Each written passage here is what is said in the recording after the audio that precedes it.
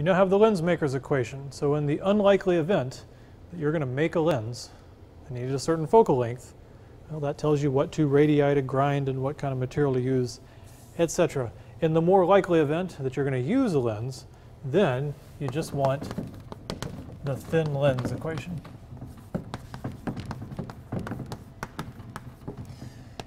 All right, and the thin lens equation really is similar. Before, let's see, we had n1 over the object distance and n1 over the image distance, but remember we divided the n1 to the other side. So we'll just say 1 over the object distance plus 1 over the image distance. And remember that was n2 minus n1 over n1, 1 minus 1 over r1 minus 1 over r2, all that stuff, but we just named all that, the focal length. So the shorter version is just that we have this thing called the focal length that includes all the properties of the lens. And yes, we defined it by doing an experiment, by having the light coming in parallel, and the focal length is a specific image distance, but it's the one for all the light rays parallel, so it is a property of the lens. So instead of writing all that lens maker's equation stuff, we just say focal length. Often when you use a lens, you don't actually know the two radii. You just get a thin lens with a focal length and you just use it. Often there's a lot more going on than meets the eye. So this mathematically will always give you your image distance and your object distance if you have uh, something near a lens. The other equation I'll give you is the magnification. And you know, normally I would derive this and prove it to you, but I'm getting tired of the, all the geometry. So I'm just going to tell you that the magnification m equals minus image distance over object distance, minus that ratio. Okay.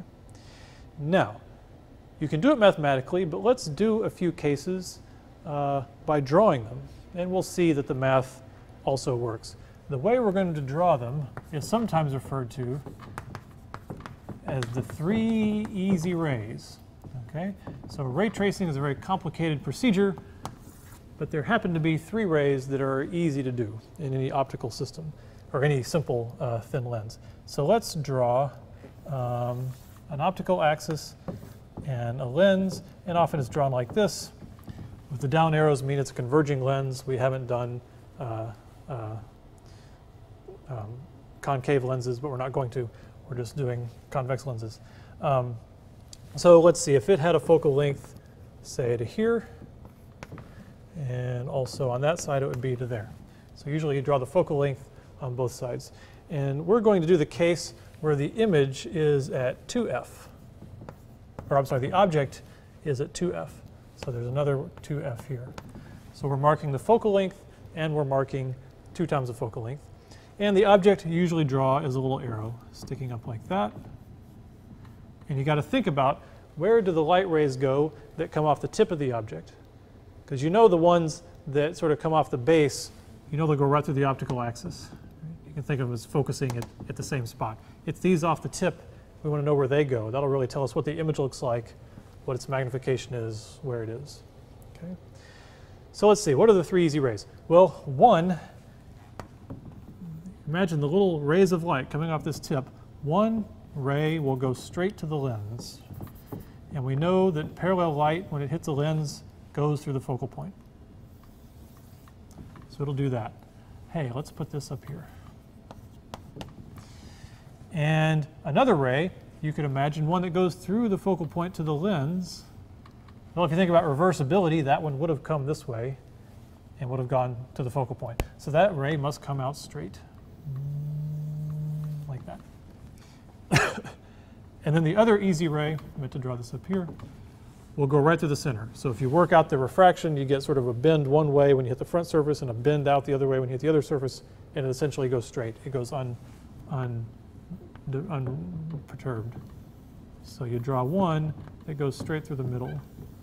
And if you do your geometry right, all three will intersect, and that is your image. So if you put an object at twice the focal length in front of a lens, you'll get an image twice the focal length behind the lens. And its magnification will be 1, right? Because this distance 2f, s object is 2s, f, s image is 2f, 2f over 2f is 1, and the negative sign tells you that it's going to be inverted. So that's one place you can put um, the object. How would we really magnify something or demagnify something? Right? Because the lens doesn't have a set magnification. It just has a set focal length. You can actually get all kinds of different magnifications depending on where you put things. Let's see. So here's another one. And here's the lens. And I'll put, again, uh, f here and uh, 2f here. And I'll put f there and uh, 2f there. Right. And now, just for fun, let's put the object uh, way out. What happens if the object's really far away? Well, not really far away, but farther away than 2f. Well, three easy rays. One ray comes straight through to the lens, goes through the focal point. Uh, another ray goes through the focal point to the lens. Oh, I missed. And uh, comes out straight, like that. And the third ray goes right through the middle. So it helps to do it with a ruler. Or it helps to cheat as you draw the ray. All right, so what is that one going to do? Well, it looks like that one makes a little image like that. Again, it's inverted. It's demagnified, right? Because we see from this ray tracing that when the object distance is really big, we know that the image distance is going to be really small. Right? So this is a constant. If this gets if object distance gets big, this quantity gets small, so this quantity has to be bigger, so this has to be smaller. So when you pull this thing away, the image comes closer and closer. Actually, it approaches the focal point, and the magnification gets smaller and smaller, and it stays inverted. If you get this really far away, you just get a point of light at the focal point, pretty much. Let's go um, the other way. Let's put the object between f and 2f. Here we go. Let's see. There we go. And there's our lens. And um, there is F and 2F. Um, there's F. There's F. There's 2F. There's F. I don't really need to label 2F anymore. but Okay. Now we're going to put the object inside of 2F, but outside of F. There it is three easy rays. So one ray comes straight to the lens and goes through the focal point, as we know parallel rays would do. One ray goes through the focal point. Oh, I didn't draw the lens big enough. To the lens and straight out. And one ray goes um, through the center like that. So now you can see this image is magnified. As uh, the object distance becomes small, this becomes big, this has to become small, this has to become big, right? So as you get this object distance closer, the image distance has to get bigger. Now if the image distance gets bigger, the magnification is going to go up. So you say, well, magnification, that's exciting. Let's push it even closer. All right, let's put the thing on the focus and see what happens. Maybe we can magnify forever. Um, and the focal points are F and 2F. You really just need F. Let's put it right here, right on F. And there's F as well. All right, well, uh, one is going to go to the lens and to the focal point. And another one is going to go through the center. And look at that, those came out parallel. And one, you would attempt to draw through the focal point into the lens, but you'll never get there. That ray doesn't work.